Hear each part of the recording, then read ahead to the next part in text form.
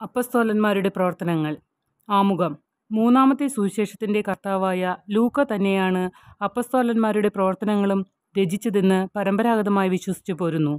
ഈ ഗ്രന്ഥത്തിലെ ഭാഗങ്ങളിൽ ഉപയോഗിച്ചിരിക്കുന്ന ഞങ്ങൾ എന്ന സർവനാമം സൂചിപ്പിക്കുന്നത് ഗ്രന്ഥകർത്താവും അപ്പസ്തോലന്മാരുടെ പ്രേക്ഷിത പ്രവർത്തനങ്ങളിൽ പങ്കുചേർന്നിരുന്നുവെന്നും അങ്ങനെ സ്വന്തം അനുഭവങ്ങളുടെ വെളിച്ചത്തിലാണ് ഗ്രന്ഥരചന നടത്തിയതെന്നും ആണല്ലോ. സുവിശേഷ രചനയെ തുടർന്ന് ലൂക്ക ഗ്രീസിലോ റോമായിലോ വെച്ച് അപ്പസ്തോലന്മാരുടെ പ്രവർത്തനങ്ങളും രചിച്ചു എന്നതിൽ കവിഞ്ഞ് എന്ന് എവിടെ വെച്ച് ഈ ഗ്രന്ഥം രചിക്കപ്പെട്ടു എന്ന് ഖണ്ഡിതമായി പറയാനാവില്ല. ഗ്രീക്ക് ഭാഷയിലെ പ്രാഗ് സൈസ് എന്ന ബഹുവചന സംജ്ഞയ്ക്ക് ഒരു മഹാരഥന്റെ എടുത്തു പറയത്തക്ക ചെയ്തികൾ നേട്ടങ്ങൾ എന്ന അർത്ഥമാണ് ഉപയോഗം മൂലം ലഭിച്ചിട്ടുള്ളത്. ഈ അർത്ഥത്തിൽ തന്നെയാണ് ഈ ഗ്രന്ഥത്തിന് അപ്പസ്തോലന്മാരുടെ പ്രവർത്തനങ്ങൾ എന്ന പേര് നൽകപ്പെട്ടതും. പരിശുദ്ധാത്മാവ് നിങ്ങളുടെ മേൽ വന്നു കഴിയുമ്പോൾ നിങ്ങൾ ശക്തി പ്രാപിക്കും. ജെറുസലേമിലും യൂതയ മുഴുവനിലും സമറിയായാലും ഭൂമിയുടെ അതിർത്തികൾ വരെയും നിങ്ങൾ എനിക്ക് സാക്ഷികളായിരിക്കുകയും ചെയ്യും. എന്ന യേശുവിന്റെ വാക്കുകൾ ശിഷ്യന്മാർ നടത്തേണ്ടിയിരുന്ന പ്രവർത്തനങ്ങളുടെ രൂപരേഖയായിരുന്നു.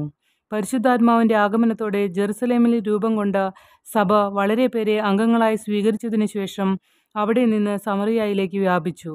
തുടർന്ന് വിജാതിയരുടെ പെന്തകൂസ്ത എന്ന് വിശേഷിപ്പിക്കാവുന്ന കൊർണേലിയൂസിന്റെ മാനസാന്തരത്തിന് ജെറുസലേം സുനഹദോസ് വഴി ലഭിച്ച ദൈവശാസ്ത്രപരമായ ന്യായീകരണം എന്ന സുപ്രധാനമായ വഴിത്തിരിവിലൂടെ റോമാ സാമ്രാജ്യത്തിന്റെ അറിയപ്പെട്ടിരുന്ന മിക്കവാറും എല്ലാ കേന്ദ്രങ്ങളിലേക്കും വ്യാപിച്ച് ഭൂമിയുടെ അതിർത്തികൾ വരെയും സഭ ചെന്നെത്തുന്നതിന്റെ ചരിത്രമാണ് ഈ ഗ്രന്ഥത്തിൽ കാണുക.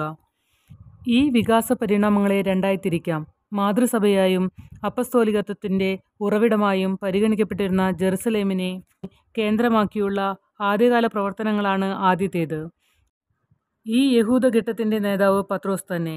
യഹൂദന്മാരുടെ എതിർപ്പിന് വിഷയമായ ക്രിസ്തു സംഭവം പരിശുദ്ധാത്മാവിന്റെ നിരന്തര പ്രചോദനത്താൽ സകല മനുഷ്യരെയും സ്വാധീനിക്കുന്ന വിജാതീയ ഘട്ടമാണ് രണ്ടാമത്തേത്. പൗലോസാണ് ഈ ഘട്ടത്തിന്റെ നേതാവ്. അപ്പസ്തോലന്മാരുടെ പ്രവർത്തനങ്ങളിൽ നമ്മുടെ സവിശേഷ ശ്രദ്ധ ആകർഷിക്കുന്നതാണ് ഗ്രന്ഥത്തിന്റെ മൂന്നിലൊരു ഭാഗത്തോളം വരുന്ന പ്രസംഗങ്ങളുടെ സമാഹാരം. അപ്പസ്തോല പ്രമുഖനായ പത്രോസിന്റെ അഞ്ച് പ്രസംഗങ്ങളും പ്രേക്ഷിതവര്യനായ പൗലോസിന്റെ ഏഴ് പ്രസംഗങ്ങളും ഇതിലുൾപ്പെടും കൂടാതെ സ്റ്റെഫാനോസിന്റെ സുദീർഘമായൊരു പ്രഭാഷണവും.